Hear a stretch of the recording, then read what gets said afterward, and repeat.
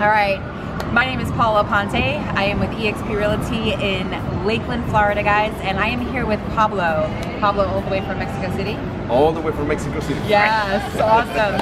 So, Pablo, you and I had lots of um, conversation regarding colors.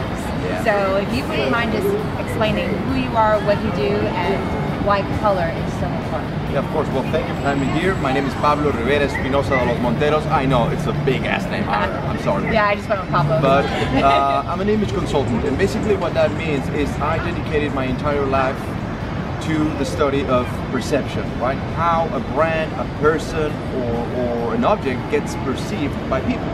So, you know, when it comes to perception, color plays a huge role because colors are almost like emotions like a frequency that you're putting on. So every time, you know, that's why we have power ties, which is a color, right?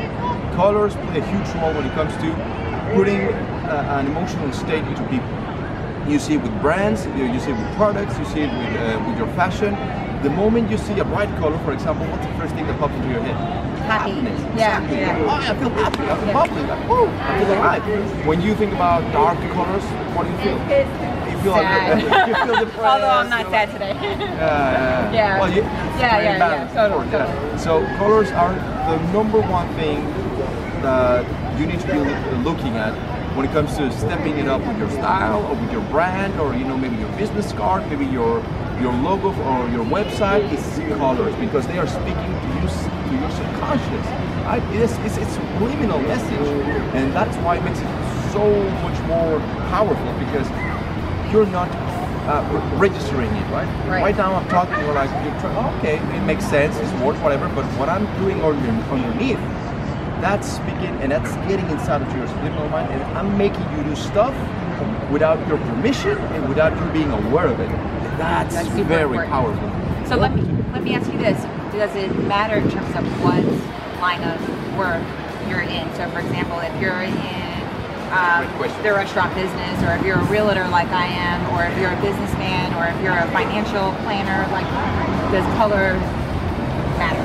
Yeah. Does it matter? That is a great question, and you know what? Yes, of course, it depends. I love that question because it's all about knowing your audience.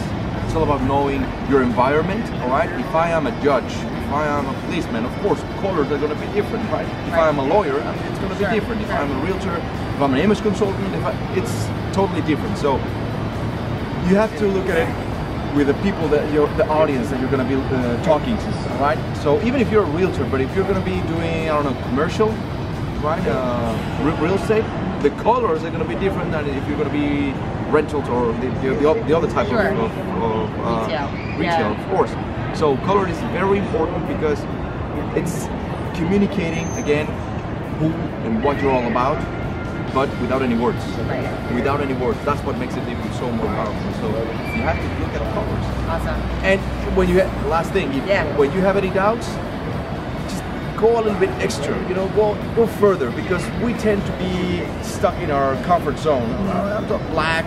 Sure. White, Yep. gray, yeah, that's all I want to do. I mean, I'm you're it today, But you know, that's why I got a little yeah. splash of Yeah, color, yeah. right? But uh, even with your logo and all that, you just think outside of the box and put on some colors, right? Add some colors, something different. That, of course, resonates with your audience, the needs of your target audience.